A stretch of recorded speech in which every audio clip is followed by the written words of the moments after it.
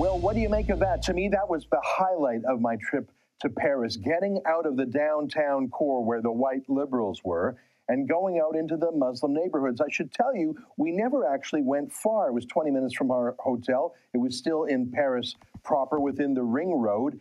If we had gone further out into the banlieues where there are housing projects, some of them majority Muslim, I think we would have had even more radical views. But this was actually in the city.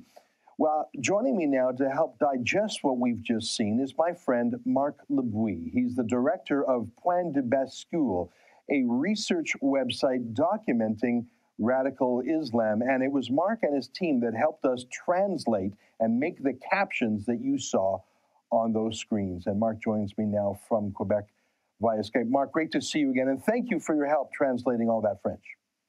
Well, thank you very much. Thank you for having me. Well, I thought that talking to real French Muslims, and I don't mean official spokesmen for this Muslim lobby group or that Muslim lobby group, but just going out on the street and saying, Excusez-moi, monsieur, can I ask you some questions? It, we didn't talk to hundreds of people, but between the cab drivers and and the people on the street, I think we spoke with at least a dozen different Muslims. What was your general impression of what you saw, Marc?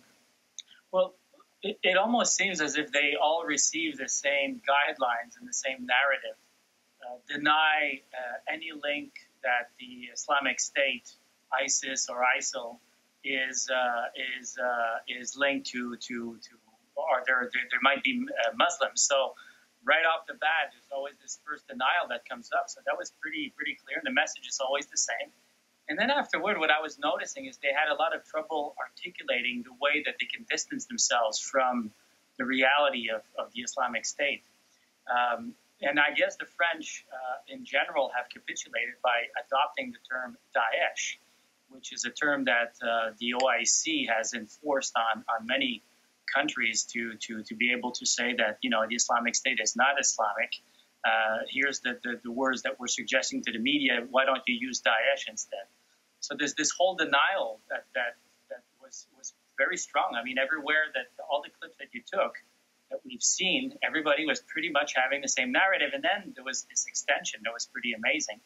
Uh, not only is it not Islamic, but it must be a Jewish conspiracy, and it's based on, on the Americans. The Americans created uh, the Islamic State. Yeah. I should tell you, Marc, that I also spoke with uh, old stock French white downtown left wingers, uh, a couple of journalists, and other than some of the you know uh, conspiracy theories, they didn't really differ from these French Muslims. They blamed American foreign policy, not for the actual terrorism, but they reached to blame America quickly, and they they wouldn't have a moment of discussion that Daesh, and you're right, they all call it Daesh there. If you would have said Etat Islamique, they would have sort of understood, but they all say Daesh, the, the Muslims and the old stock white uh, French. That's the weird, the weirdest part to me, Marc. Both the Muslims in the neighborhoods and the white leftists downtown all agree this terrorism wasn't Muslim. So it's not just the young Muslims I spoke with who were all on the same page it's the official French establishment. And one of these Muslim kids said to me, Pre- President Hollande himself said it wasn't Muslim. So there you have it, almost like he was throwing that in my face as the ultimate proof. If our white French president says it's not Muslim, there you have it. Uh, it's uh, the, the, power may be a fear. Uh, they've already had just last year about it at, at, this time we started a whole series of terrorist attack in France that were barely covered in, in the media, but that was before Charlie Hebdo. You know, around Christmas time, this, these people driving cars and hitting people, and it just it just gets stronger and bigger in, in, in France specifically. Um, there was one scene um, when you were interviewing these these people on the street. It was like a cafe. They had they weren't speaking very very articulate French, by the way. It was a very very strong uh, Arabic accent and uh, uh, and a very difficulty expressing their, their French. Um, but you can feel that it was almost explosive. If if if you kept on persisting on saying that is there a tie between Islamic State and Islam, they could come to the point where they would feel offended. And we know what happens when some of these group feel offended, then that, that's what that's what's been what's been happening in France. Like for the slightest thing, there's been massive riots. If you remember a couple of years ago, these car burning all over Paris, um, and these were the suburbs. But you can see also it's happening more and more closer and closer to the core of of of, of, uh, of Paris. So well, I think. Let me make another observation. You're talking about the kids who were the young men who were sitting in front of a bistro. Uh, they looked, especially the first one, they looked like young Frenchmen. Other than their accent and the tint of their skin, they were they were hip, they were modern, they weren't wearing big Islamic beards, they weren't wearing um, a keffiyeh or another head covering, they weren't dressed in abayas. So these were these were not the hardcore looking like they, they looked young and modern and integrated. Those ones were obviously born abroad, but late, uh, the ones I spoke to later out in front of the convenience store, many of them were born in France. So these aren't radicals who have just come over from Syria. The, uh, or some of them maybe, but even the ones born in France and who look modern, they harbor either conspiracy theories or resentments or I, I, don't. It's it's terrifying to me that they are as French as could be. Uh, well, they're they're French in terms of uh, their, their passport. They're French, uh, maybe technically speaking. Well, that's what I mean. They're legally French, like born in France, educated exactly. in France. Pass, oh, yeah. I mean, their values are not French. Sorry, I, I was uh, too vague there. Their values are not French. Their beliefs are not French. Their information is not French. Their outlook is not French. But on paper, they are as French as Charles de Gaulle. And this is why we have to be careful when the media, uh, the mainstream media, are covering the news, and then they say we we spoke with people, and, and, and some of these perpetrators are, are French. They, they say that they're French national. And, and this is where all the, uh, the, the no-go zone comes in because now they're, they're finally re-talking about this because of the Belgium uh, uh, mastermind he was in an area that was uh, considered. I think it's. Uh, I think it was the Associated Press. They call it like a, a very, uh, a very uh, particular area of uh, of, um, of, Brussels. So there's these areas where they're totally isolated. The cops uh, in France they say that they have about 750 zones of sensitive areas, and about 140 of them are no-go zone, literally no-go zone. But all those 750 this, this, this, this comes from French documents. What they need to do is the police department or the fire department, before they go into those areas, they'll have to calculate if they're going to get some police support before they go into these areas. So that means there's an isolation. That means they, they, they, they are safe to be able to, to, to isolate themselves. And this is not new. It's uh, also, I don't know if you've heard of Youssef El Qaradawi, who's more influential to the Sunni world than the Pope to the Catholics this individual has literally said that um, Muslims should create ghettos and expand them. And the whole notion of ghettos, of isolated area, has been has been worked, has been pushed forward since uh, since the uh, since the late 80s. So that's what we're seeing. We're seeing the impact where these people are are living amongst them. They're pretty much isolated, and most likely even in schools, if there are teachers that are most likely still French, uh, they uh, they are most likely living in fear of, of saying things that may offend these kids. The parents may hear about it and they may act. So all this is trickling down, and there's also most likely people in the police force who might be also be sympathetic to what these uh, these individuals have expressed. Mm-hmm. So you're you're going to have a lot of maybe some police interventions. They're gonna they're gonna have some omissions. They may not they may not uh, cover certain aspects. That the the level of cultural infiltration might be so advanced that you don't even trust that your own police force will protect you. Yeah. Well, I mean, here in Canada, we know that, for example, when the Shafia girls reached out to the police, reached out to social services, Several. Uh, they they were sent special Muslim liaisons, including a yeah. woman in a hijab. So when Muslim girls asked for help, they're sent a special Muslim kind of help. And in the end, of course, there were four homicides and honor killings.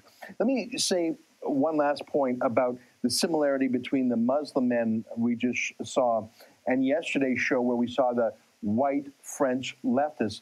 Both were saying the same thing, but I think I think some of the Muslims were saying it because they don't know how to separate radical Islam from Islam, and, and they feel uncomfortable and maybe inspected too much or offended too much if you link the book they pray from every day with terrorism. So there's an offense there or a confusion.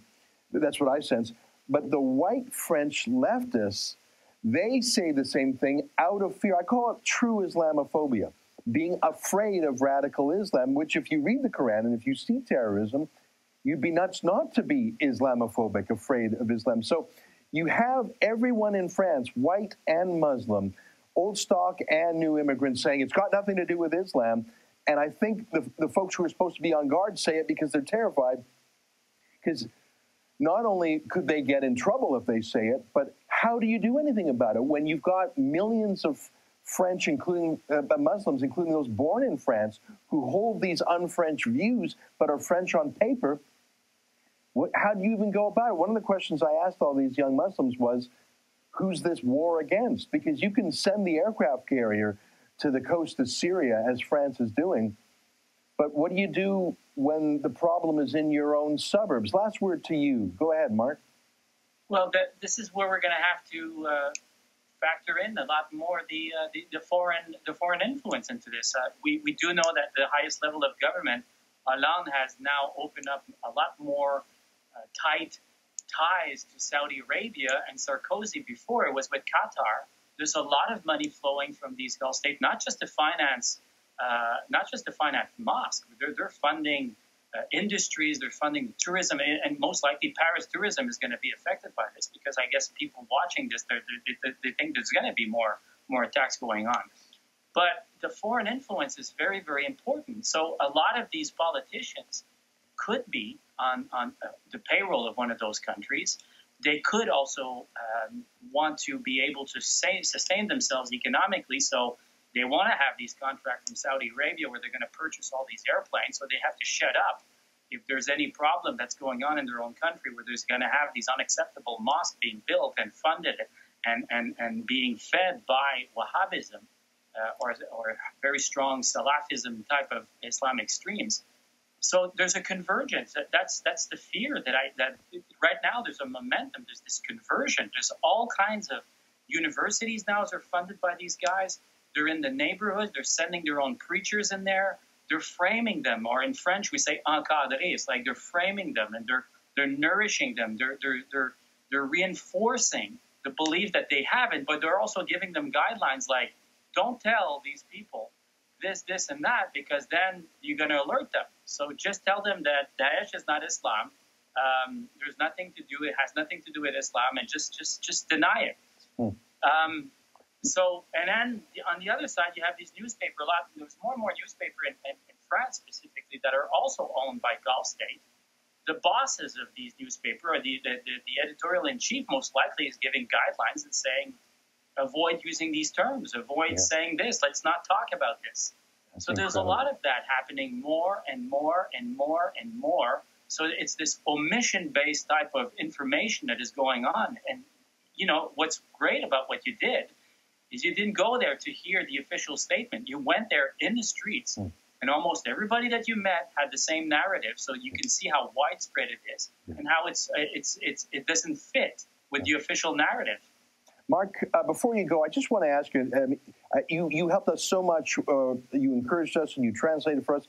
If you had some advice for me and for us at the Rebel to do more investigative, and I wouldn't even call this investigative journalism. I would just call it journalism what kind of things would you like to see us do in Canada, in the United States, in Europe, maybe even in the Middle East? What other things can we do to shine a light on this that the mainstream media is refusing to do for whatever reason? I'm, i got very a, a simple one. Let's go see all the departments that are receiving funding from the Middle East.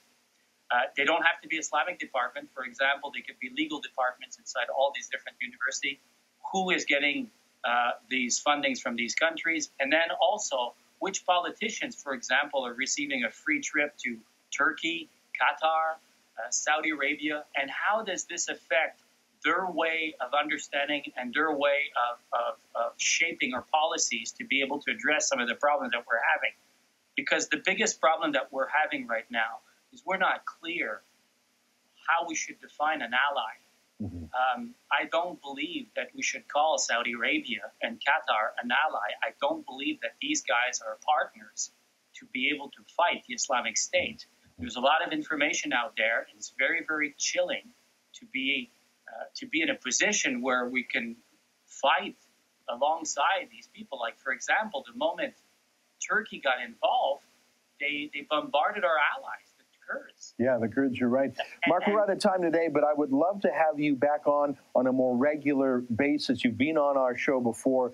This issue is only going to get more important. You've done more research on it than anyone else I know. It's great to have you as a friend and an ally. Let's keep in touch on this. And thanks again, and pass on my thanks to your team that helped do the translation for us, okay? Thank you for having me, and I will pass it on. Thank you, my friend. Stay with us. My final words after these messages.